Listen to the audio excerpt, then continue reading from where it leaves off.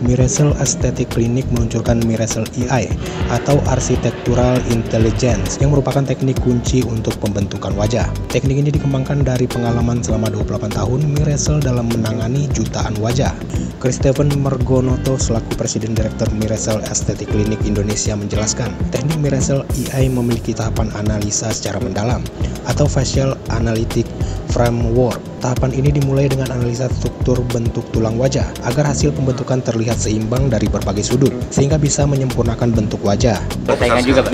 Ya, saya lihat memang persaingan ini nggak bisa dihindari kan.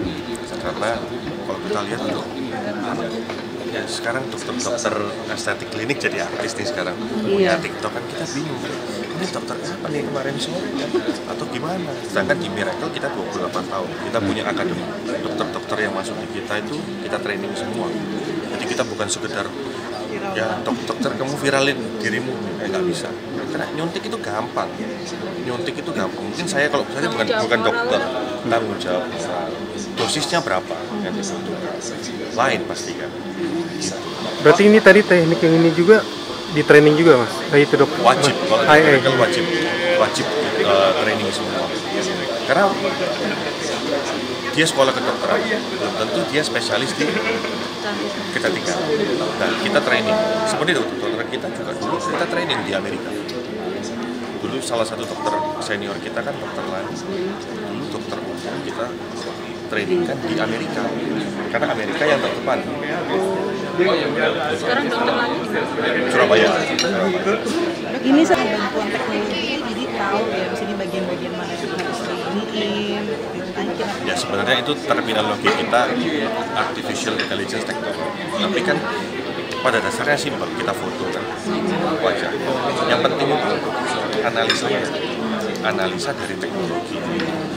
Tadi disebutkan kita balapan kan? Sama-sama mungkin naik mobil naik sepeda motor Kawasaki. Belum tentu finishnya sama kan? Tekniknya kan ada. Tapi ada emang ada teknologinya yang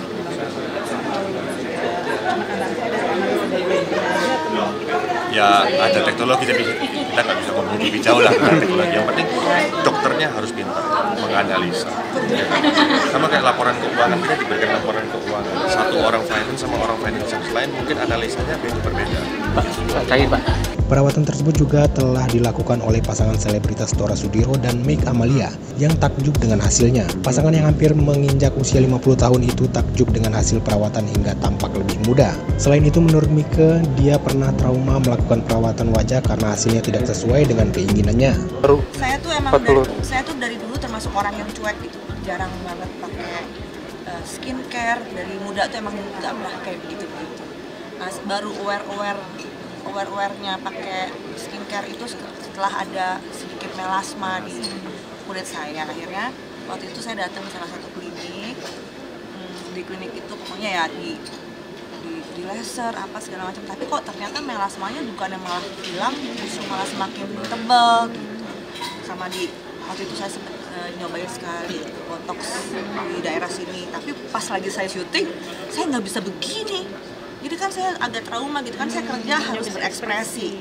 sementara saya nggak bisa berekspresi udah adegan marah adegan ini itu semuanya tetap begini gitu. Gue udah setengah mati gitu akhirnya saya agak trauma sedikit soal kalau untuk soal perawatan wajah. Makanya waktu awal berdiri kalau saya tuh waduh bener-bener cerewet banget. Saya nanya nya saya nggak mau ini saya nggak mau itu saya mau pokoknya bener-bener detail. Alhamdulillah di sini dia dengerin apa mau saya. Dokter juga memberikan solusi tahu yang saya mau seperti apa jadi memperbaiki wajah tanpa membentuk